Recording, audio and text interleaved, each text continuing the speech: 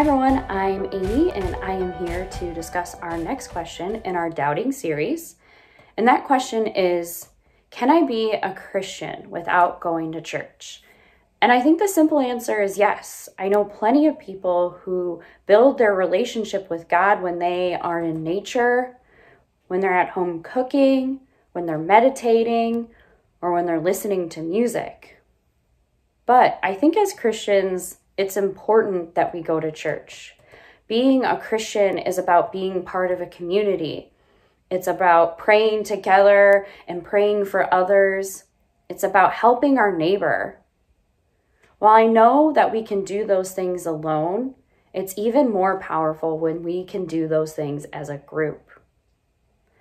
I think about sitting in church and hearing those next to me singing a hymn.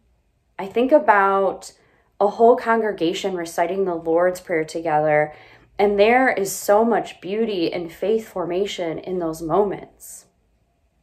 I also think it's important that as Christians that we go to church because we all have different gifts and talents.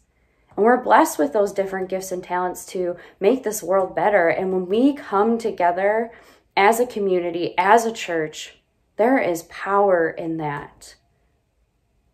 So, when you maybe encounter this question, maybe others ask you this question, I think you can say to them that, yeah, you can be a Christian without going to church. But have you tried going to church? Have you been a part of a community as a disciple of Christ, as a Christian? There's so many great things that you can do together to spread the love of God in this world. So I hope you continue to think about that this week. Why is it important to go to church as a Christian? If you ever have any questions about that, or if you want to invite a friend to church, Please know that you can always reach out to me, to Deacon Sarah, to Megan, or Pastor Susie, and we would be happy to help you with that.